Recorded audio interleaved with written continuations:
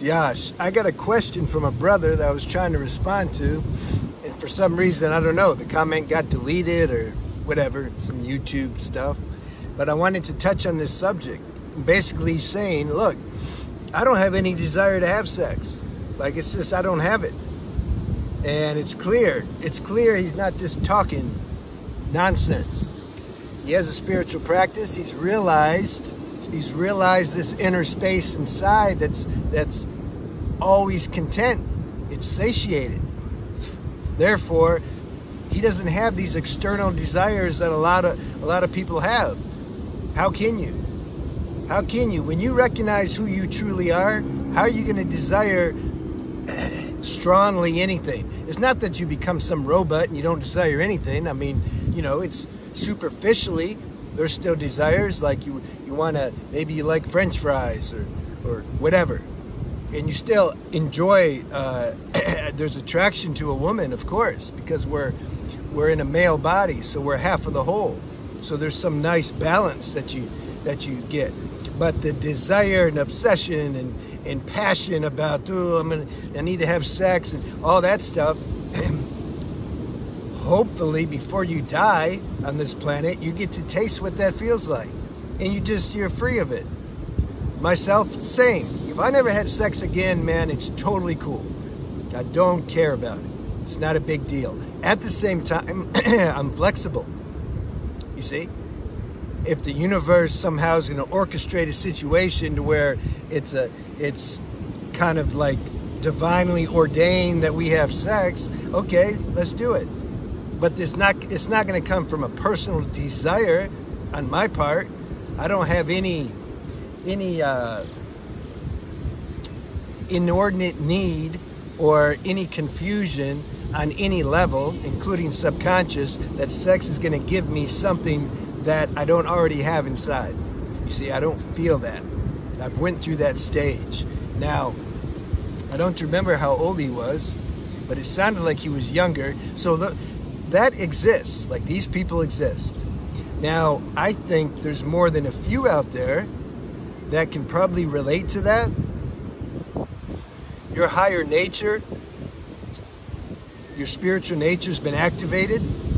But the problem is society and people and friends and everything else, it doesn't support that. Nobody talks about it. In fact, they'll tell you the opposite. There's something wrong with you. What are you, gay?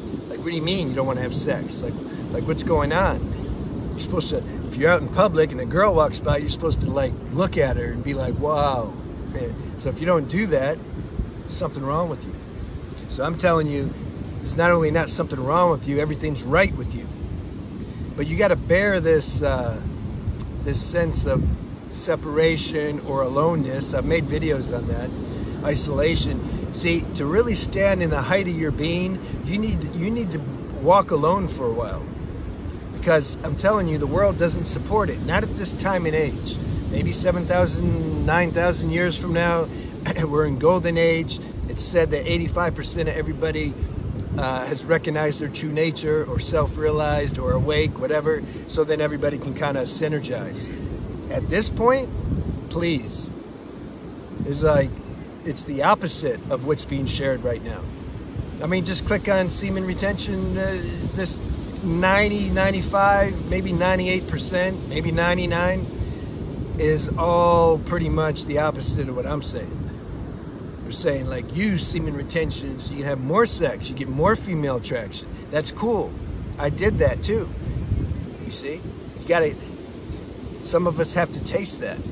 But some of us don't have to taste that so long. It's like you dabble in it and you're doing self-reflection, introspection, you're looking at things clearly and you're like at some point, you know what? This is this is just making me like more restless. Like this isn't giving me anything. This isn't giving energy, it's taking energy.